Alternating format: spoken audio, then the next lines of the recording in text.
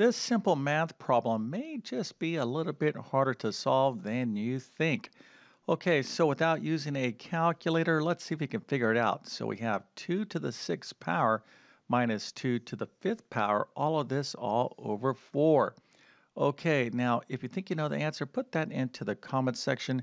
I'm going to show you the full solution in just one second. Matter of fact, I'm going to show you a few different ways to solve this problem. But before we get started, let me quickly introduce myself. My name is John, and I have been teaching math for decades. And if you need help learning math, come on over to my site, tcmathacademy.com. You can find a link to that in the description below. And if this video helps you out, or if you just enjoy this content, make sure to like and subscribe, as that definitely helps me out. All right, so one more time, we're not going to use a calculator. So we have 2 to the 6th power minus 2 to the 5th power. This is the numerator in this fraction. And then, of course, we're going to divide all of this by 4. So one approach to solve this problem could be the following. All right, so we have 2 to the 6th minus 2 to the 5th. So we have these uh, powers up here, and they both have the base of 2. So maybe what we need to do is subtract these exponents. So In other words, 2 to the 6th minus 2 to the 5th is going to be equal to 2 to the 6th minus 5, which of course is 1. So that seems pretty logical. So we have 2 to the 6th minus 2 to the 5th. So maybe this is equal to 2 to the 1st, which of course is 2. So now we have 2 over 4, and of course we can reduce this fraction down to 1 half. All right, so what do you think? You think this looks pretty good? Well, if you do, unfortunately, you are wrong. All right, so there is no property of powers and exponents where you can add or subtract powers by subtracting uh, exponents. All right, so you don't want to confuse this with multiplying powers. All right, so when you're multiplying powers with the same base, you can actually add the exponents. But when you are subtracting powers with the same base, well, there is no property. All right, so what do we need to do here? Well, what we need to do is figure out what these values actually are. So we have 2 to the 6th and 2 to the 5th. So these are actual numeric values. So what are they? Well, let's go ahead and take a look at how to figure out what 2 to the 6th and 2 to the 5th are. All right, so 2 to the 6th means take 2 and multiply it by itself 6 times. So we have 1, 2, 3, 4, 5, 6. So if we take 2 and multiply it by itself 6 times, we have 64. Now 2 to the 5th is take 2 and multiply it by itself 5 times, and of course you'll get 32.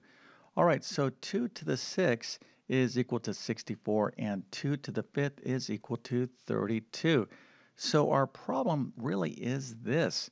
So 2 to the 6th minus 2 to the 5th is equal to 64 minus 32. And of course, this is our numerator, so this will all be over 4.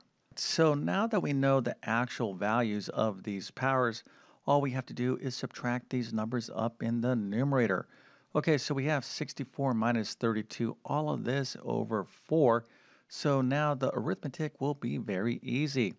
All right, so 64 minus 32, of course, is 32 and 32 over 4 is equal to 8, or 32 divided by 4 is 8. All right, so this is the correct answer, and if you got this right, that is fantastic. I definitely have to give you a nice little happy face and an A+. plus. But uh, let's take a look at another way we can solve this problem using some properties of powers and exponents and factoring. Now, before I finish this problem, take a quick second and consider hitting that subscribe button. This really does help my channel grow on YouTube. And the whole reason I want my channel to grow on YouTube is so I can reach as many people as possible and help them in mathematics. I look at every person that uh, has subscribed. Now, by the way, if you have subscribed to my channel, thank you so much. But if you do subscribe to my channel, I consider all of you like students of mine. So I really try to be conscientious and post high quality math content. And my channel covers everything from basic math to advanced math like calculus and everything in between. Now, if you need math support, if you really need to learn mathematics, you definitely have to check out my full main math courses. You can find links to those in the description of this video. And if you are going to subscribe, make sure to hit that bell notification as well so you can get alerts when I post a new video. Okay, so let's go ahead and finish up this problem. Now, another approach to solve this problem depends on your ability to factor and your understanding of powers and exponents. So I showed you a uh, direct uh, way to solve this problem by just evaluating these powers. But what we can do is factor out the greatest common factor. So we have 2 to the 6th and 2 to the 5th. And the greatest common factor between these two values is 2 to the 5th power.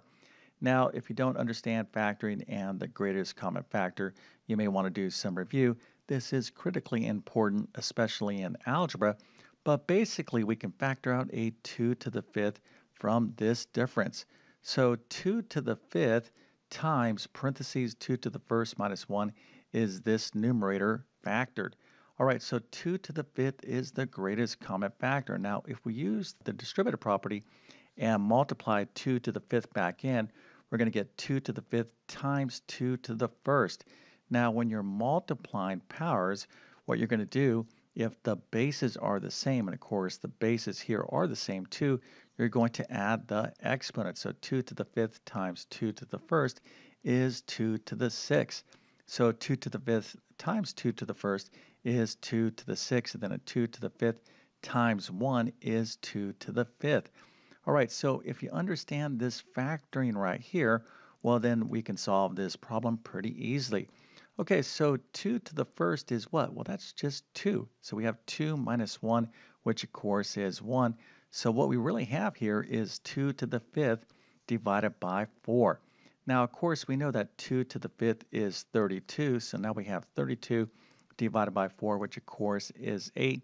But again, if you understand powers and exponents, we can look at it this way. All right, so again, uh, 2, uh, 2 to the first minus 1 is simply all going to be 1, or just going to be 1. So now we have 2 to the fifth over 4, but we can write 4 as 2 squared. All right, now when you are dividing powers with the same base, you subtract the exponents. So the answer here is going to be 2 to the 5 uh, minus 2, which of course is 2 cubed or 8, because this is 2 times 2 times 2, which of course is A. All right, so a lot of different ways to approach this problem, and of course it all depends on your skill level. But uh, one uh, way that you should have been able to do this problem if you have basic understanding of uh, powers and exponents is simply to evaluate these powers and recognize that we are dealing with numeric values. So if you figured out that 2 to the 6th is 64 and 2 to the 5th is 32, well, here we have a simple numeric expression. All right, now if you need help with powers and exponents or basic math, make sure to check out the courses in the description of this video. Those would include my Math Skills Rebuilder course, my Math Foundations course, my Pre-Algebra course, and Algebra 1 course. That's pretty much the level that we're talking about here. But uh, with all that being said, I definitely wish you all the best in your math adventures. Thank you for your time and have a great day.